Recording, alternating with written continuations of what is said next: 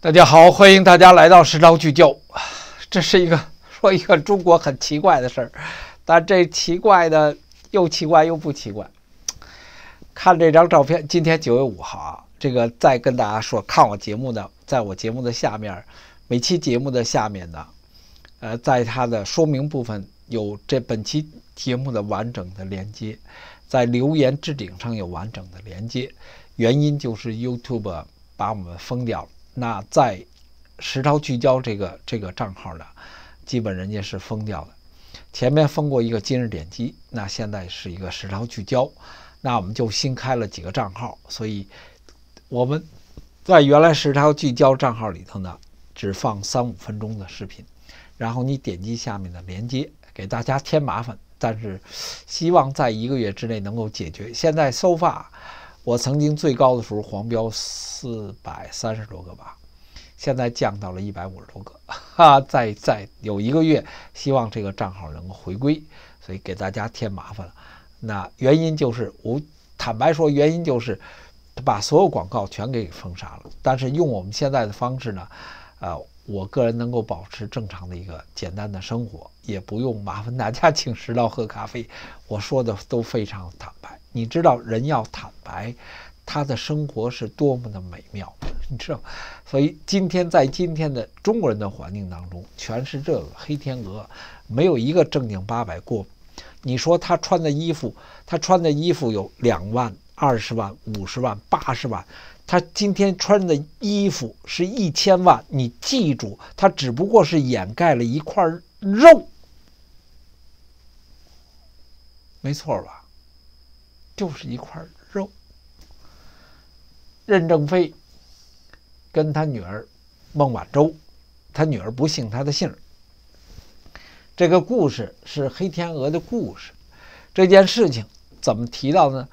二零一八年十二月十三号，在时涛 news 当中做过一期节目，当时是孟晚舟出事之后，提到了，呃，任正非提到了一件事情，就是说。这孟晚舟太各色，其实是孟晚舟太恨他爹。任正非在深圳这个华为的总部，在他的大厅里头养了黑天鹅。黑天鹅是专指当时是专指大企业突然出事，企业啊突然出事，无论无论是在金融上，主要是在金融，在货币本身上，所以我们通常说就是。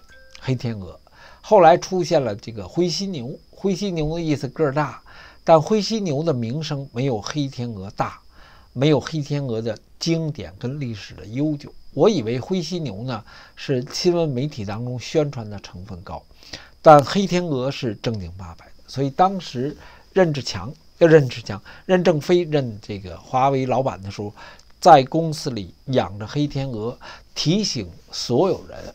黑天鹅事件随就是，啊，这个这个华为随时还会完蛋，以黑天鹅的方式骤就是叫骤息之间呐，一息之间全都崩溃。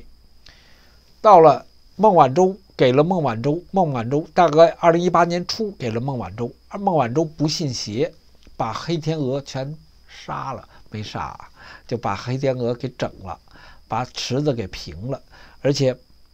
把华为的总部搬家了，不能轻易搬家的。但孟晚舟是人家，人家那丫头厉害，对不对？人丫头厉害，人家穿身衣服都是十来万、二十万的，对不对？所以人家丫头厉害，我不信邪，我就搬家。他一搬家，他就折了。他一搬家，他就折了。黑天鹅的故事在这儿，所以我曾，这是我们跟大家讲这故事了。当我去找这段故事的时候，我发觉在谷歌上最顶最顶头的是涛哥的节目。二零一八年十十二月十三号，孟晚舟厄运难逃，搬总部破风水，摒弃掉任正非的迷信黑天鹅。这是当时做了一期节目。人说：“那你跟现在有什么关系？”今天大白天早晨八点钟，黑天鹅落在了天安门广场上，它不走了。今天早晨八点钟，一只黑天鹅邪了门了。这天鹅都是城邦大队的，一只黑天鹅落在了这个天安门广场不走了，中国要出大事。